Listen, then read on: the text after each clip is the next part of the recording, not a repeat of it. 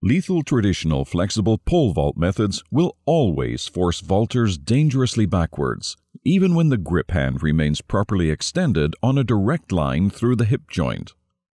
This is only one of many hazardous consequences caused by the proven deadly traditional concept of forcing flexible poles to bend forward in front of the vaulter.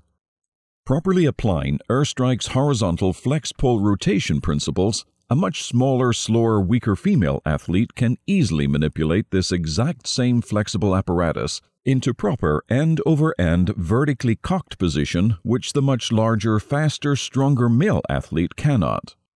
Misguided traditional pole vault methods destroy the advantages of superior athleticism by restraining the athlete's physical ability.